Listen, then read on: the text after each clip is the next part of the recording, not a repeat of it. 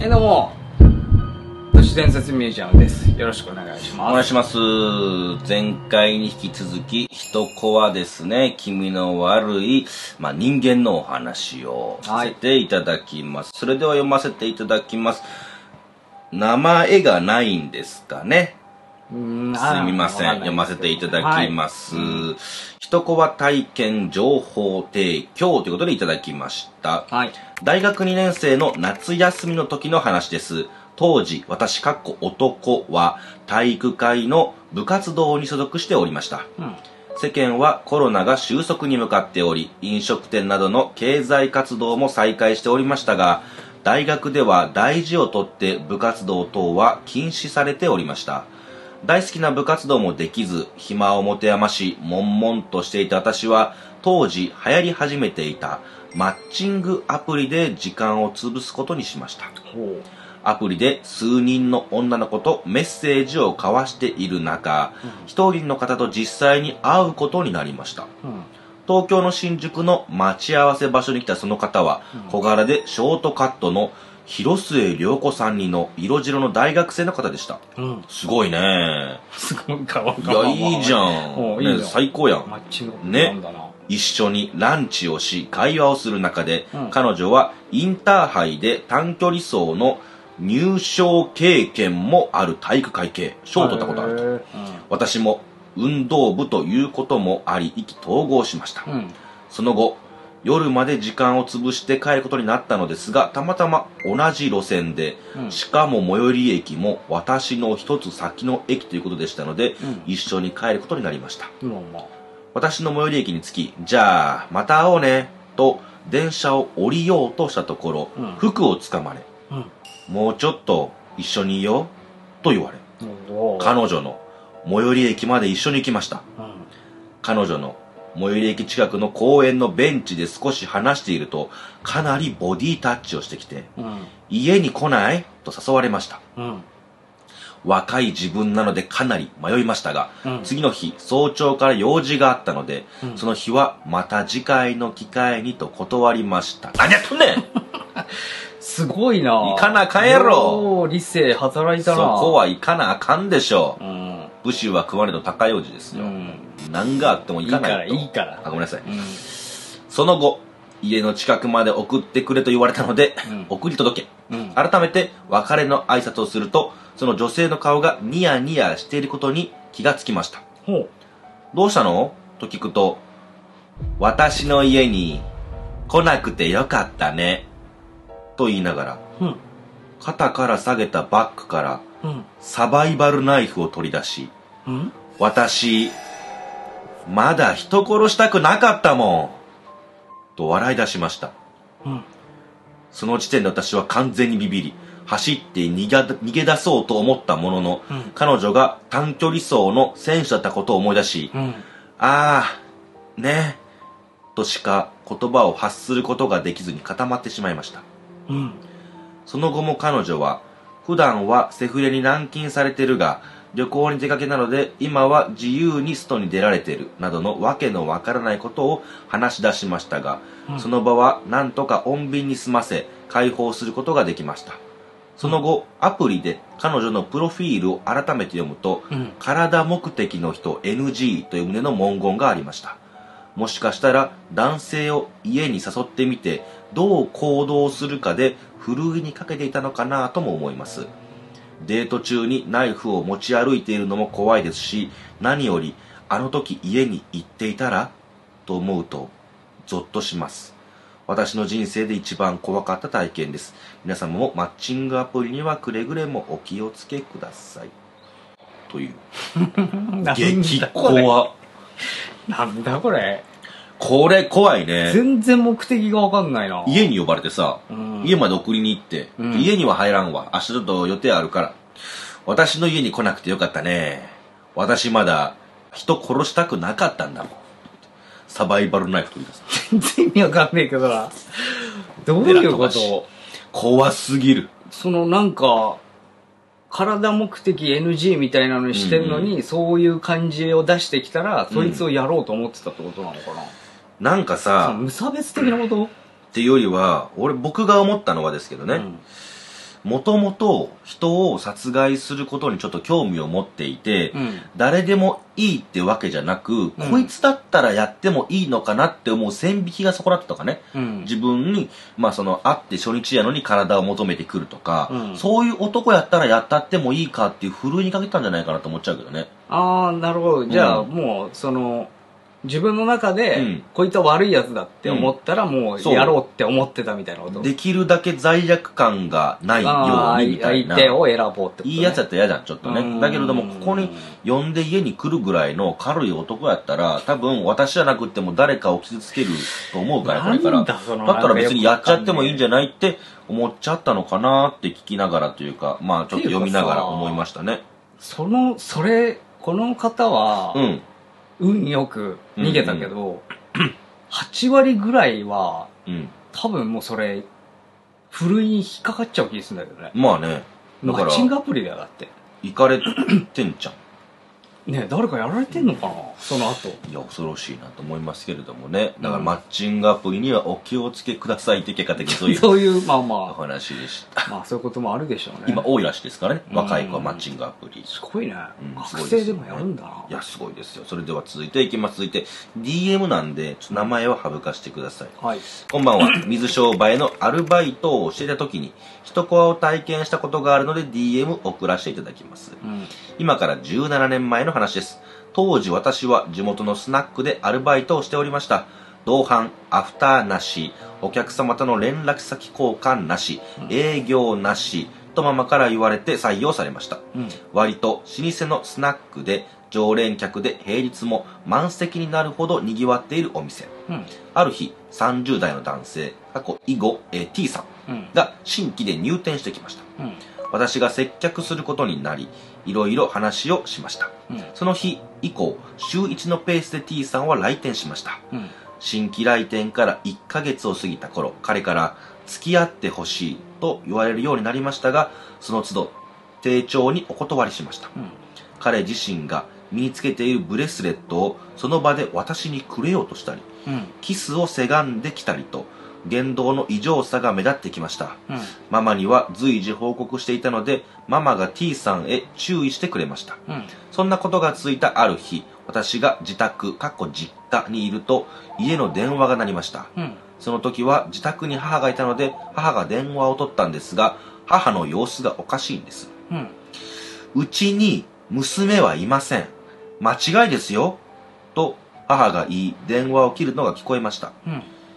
うん何か気持ちが悪いので、母に誰から電話だったの？と聞くと、男性なんだけど、〇〇さん、過去私の名字のお宅ですか、うんそちらに、〇〇さん、私の名前、うんという娘さんはいらっしゃいますか？って聞かれたんだよ。うん気持ち悪いからうちには娘なんかいない。間違いだって言って切ったよ。うんなんだろうね。と。うん私と母は、どこかで個人情報が漏れて、うん勧誘の電話でもかかってきたんじゃないかなと解釈して話を終えました。うん翌日、スナックへ出勤した時に、ママと同僚にその電話の話をしました。同日に T さんが来店。私は彼の接客をせずに別の宅へ。うん代わりに同僚が T さんの接客をしました。うん T さんは1時間程度で帰宅。T さん帰宅直後、接客をしてた同僚が青ざめた表情で私とママのところへ来たので理由を聞くと、うん同僚が T さんやばいよ。T さん。いきなり、待ち伏せするのってどう思う？って聞いてきたから、うん私はそれは良くないって答えたんだ。うんそしたら、俺は好きな人のことを知りたくなっちゃうんだよね。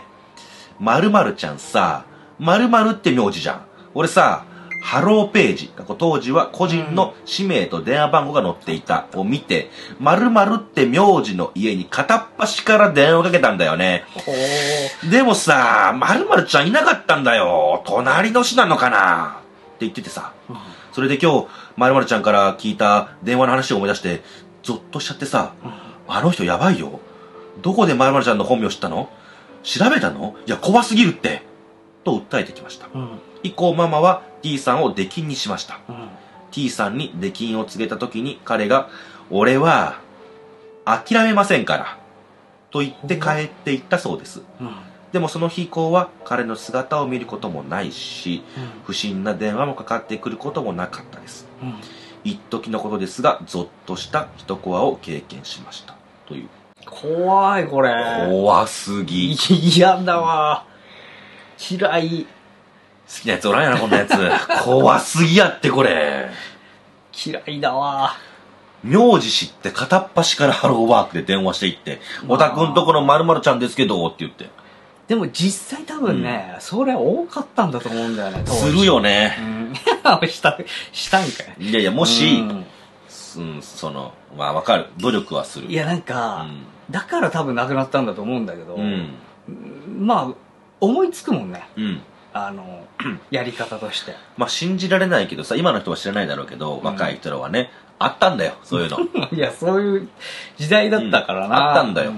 もう近所の全部の電話番号が載っていて、うんうん。なんか使うので言うと飲食店使ったりとかさそうそねあったんだけれども、えーどこどこという名字愛用順とかさ、うんうん。なんかあってさ。で、まあ、ここのここやからっつって電話番号を調べて自分で電話したんだよ、うんだから個人情報なんいてさあってなかったようなもんでめちゃくちゃプライバシーとかなかったよな。だ酒屋の娘で青木さんだったらもう青木酒店をそうそうそう。探しゃもう一撃。すぐ出てくるからね。一撃ですからね。何何件かは出る。で、さっきみたいに名字を知って、どこあたりに住んでそうやなと思ったら、そこの地域の電話帳を買って、で、それで連絡すりゃいいだけの話だから、今も時々あるよね。あの、電話ボックスの中にさ、あああったね古いのあったりするよね。うんそこでなんか調べたら多分あると思うんだけれども、いやー、その諦めない感じを匂わせて終わってるのがすごい嫌だわ諦めませ出んから禁になね。なるときですって。うんほんでなんかさ、ほんまこれもありえん話やけど、当時ってさ、漫画家さんとかの事務所も載ってたよね。載ってたよ。芸能人の家のそう。本とかあったから。あったよね。あれやばくない？やばいよどうかあと、誰々の芸能人行きつけの店だけをまとめた本とかさ、いや、今思うとちょっとありえねえわ。うん。ねで、最後ですね、読ませていただきます。この方も DM にいただいてるんですけれども、ちょっと名前読んでいいかわかんないから、はい。省かせていただきます。自分が25歳の頃、市内に 1DK のアパートを借りて暮らしていました。うん。そのアパートは1階5部屋の4階建て。で、大通りから路地を1本入った静かなところにあり、自転車があれば買い物や娯楽施設など生活には困らない立地条件でした。うん。住人に遭遇した感覚では女性の住人が多い印象。うん。自分はこのアパートの104号室に住んでいました。うん引っ越してから1ヶ月ほど経った頃隣の105号室側過去角部屋の壁からか細い声で誰かと喋っているような声が聞こえてきました。うん。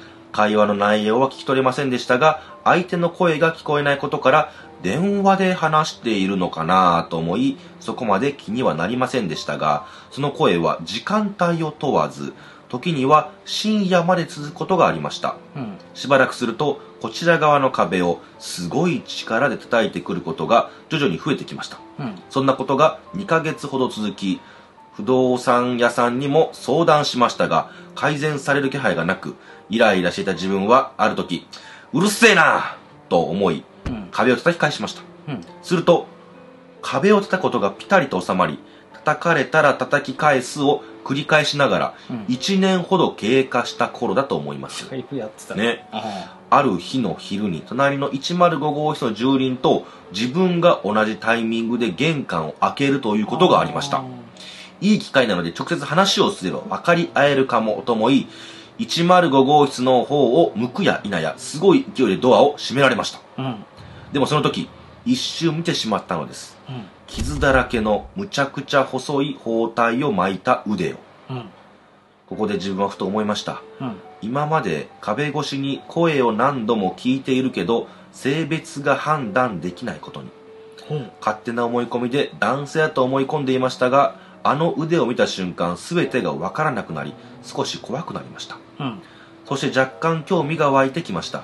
そのアパートは角部屋にのみ窓が一つ多く設けられており、うん。105号室は1階なので外から部屋の様子を見られるのではと考えました。うん。平成を装ってアパートの住人が普段あまり通らないであろう少し草が茂っている105号室側の外壁を回り込むように進むと、うん。105号室の窓がありました。うんそこから少しだけ中を覗くと部屋は薄暗く、うん。キッチンにある小さな照明がついており、うん。シンクの方を向いたまま微動だにしない人物が立っていました。うん。身長は140センチくらいで、料理をしている気配は全くなく、手も全く動いていない状態でした。うん。僕は窓越しに振り向かれたらやばいと思いながらも、目を離すことができず、おそらく1分以上は見ていたと思います。うんその住人が若干動くような素振りを見せた瞬間、身を隠しました。その3日後に自分は恐怖体験をすることになりました。うん深夜3時頃まで友達と遊び、帰宅しました。うんアパートに単車を止めて、郵便受けが並んでいるエリアを過ぎると、通路の奥から2番目が自分の部屋になります。うんその通路を歩き出した瞬間、郵便受けの真向かいの2階へ上がる螺旋階段の下のくぼんだスペースに、人がこちらに背を向けた状態でしゃがんでいるのが視界に入りました。うん。全身真っ白の服を着ていました。うん。その人物が立ち上がった瞬間、105号オフィスの住人であることを確信しました。うん。以前窓から覗いた時と全く同じ立ち姿白く細い手足そして身長間違いないと思いました。うん。僕は動くことができずというよりも顔を確認したいという好奇心の方が勝っていました。うん。思い切って「あのどうかしました?」と声をかけました。うん。すると105号室の住人はゆっくりと振り向きうん。対面することになりました。うん。頭髪はかなり短く驚いたのは顔でした。うん。眉毛はなくうん。かなりの色白で無数の傷がありました。それらの傷は手足にも多数あり足は包帯を巻いた状態でサンダルを履いており白い服には傷から分泌された液体のシミのようなものが付着していました。うん顔を見ても性別や年齢の判断はできませんでした。105号室の住人は返事をせず2階の階段を上がっていきました。2階は女性の住人が多いという認識があったので警察に通報しました。うん電話しながら自分の部屋へと向かい鍵を開けて入ろうとした時に何気に歩いてきた方に目をやるとハサミのようなものを持ってこっちに歩いてきている105号室の住人がいました。うん。焦った僕は慌てて部屋に入り鍵をかけ警察に事情を話しました。うん。それからも声や壁を叩くような音はずっとしていましたが2ヶ月ほど経って自分の仕事の都合で引っ越すことになりました。うん。不動産屋にこれらのことを話すとどうやら105号室の住人は大家さんの親戚らしく、うん。どんな事情があったかは教えてくれませんでしたが大家さんの計らいで住んでいたうん。ということでした、うん。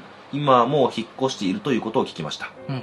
引っ越した時期にちょっと引っかかった自分はいつ引っ越したのか確認すると僕が深夜に出くわしたあたりであることが聞かされました。うん。もう住んでもいないアパートに深夜に何をしに来ていたのか。うん。自分が引っ越しをする前日まで聞こえていた声や壁の音は105号室の住人だったのか。うん。今となっては知る由もありません。このアパートに興味があったので素人ながらいろいろ調べていましたので報告させていただきます。うん。105号室の真向かい2メートルほどの距離に廃屋が立っていました。うん。ボロボロの窓がありカーテンが30センチほど開いていて椅子がこちら向きに置かれていました。うん。当時事故物件サイトで調べると首を吊って自殺された経緯があるということがあったようです。うん。それと今回のことの因果関係は分かりませんが今でもたまに通りかかった時に105号室を見てしまいます。うん。今は誰か住んでいるようでした。何もなければいいなぁと思いますあとこの土地近辺で何度聞いても忘れてしまう話があります。とても怖い話というところまでは覚えているのですがまた思い出したら投稿させていただきます。という。うん。声うーん。なんかまた変な話だな。謎ですよね。謎が。ほんまに一人暮らしやったんかなと思うよね。その傷だらけっちゅうのも自分でつけたんかつけられたんかわかんないけど。うん。怖いわ。性別もわかんない顔ってすごいね。ガリガリで眉剃ってて、うん。傷だらけだって。傷だらけってことでしょ？まあ体中。うん。手足も。で包帯で巻いていてっていう。ちょっと。この人はでもちょっと危うかったね。なんかうん。好奇心が強すぎて。そうね。巻き込まれそうなタイ普プ通声かけないじゃん。うん。だって螺旋階段のさあの下のところのくぼみのところに背を向けてうずくまってるってさうん。意味わかんないそもそも、うん。何の目的もわかんないし、うん。でもおそらく多分104号室の彼を待ってたじゃない。まあそうだね。でそれ立ち上がってるからね、うん。で声かけて大丈夫ですか？声かけたらふっと振り返ったらそういう状態。って思ったってことだろうね。って思ったらそのまま2階へ上がって2階っていうのも自分の部屋ないからね。うん。つまり5だから。どっかかしらか、まあ、刃物持ってきて隠してたのかな。うん。刃物持ってきてグッと来たから怖いから部屋入って警察呼ぶっていう。う、ん。分かんないもん。そのでもなんか心霊要素っぽいのもちょいちょい入ってきてる感情はあるけど向ねかいの廃屋で首つった人とっていうのかそのね音とかもさ そうね。その人が本当にやってたのかもわかんないそうかっていうのとか。もしかしたら引っ越した後かもしれないけど音が立っていたって話もあるしね。そう。だから取り付いてるとかもありえるし。ああそうかもなんねかただの人コアだけじゃなさそう感もあるっていう、うんなんか不思議な。ちょっと誘ってよ。どこに何どこ一緒に行きましょうその物件。ああ物件ね。連れてってください。僕もよけれそのば人はいるわけじゃないですよね。まあね。うん。だけれどもやっぱりちょっと行きたいですよね。どういうところか見てみたいから臨場感があるしねそうですね。まあ、近ければ行きますよ。遠くとも行くわ。はいもちろんね。まあ、こういうのですね、まあ、一子は集めておりますので、ぜひぜひ引き続きですね、えー、コメント欄もしくは DM、メールにお願いいたします。以上です。ありがとうえー、トッシュボーイズですね、はいメンバーシップを、えー開始しております。はいメンバーシップ始めておりますので、はいはいえー皆さんですね、あのーちょっと有料ではございますけれども、えーそれに見合ったような内容のね、えー動画、生配信、えーまあ、企画などもやっていこうかなと思っておりますので、ぜひ入っていただければとはい、お思います。願いします。概要欄 URL にですね、そこからクリックしていただければうん入れますので、ぜひぜひお願いいたします。以上ですありがとうございました。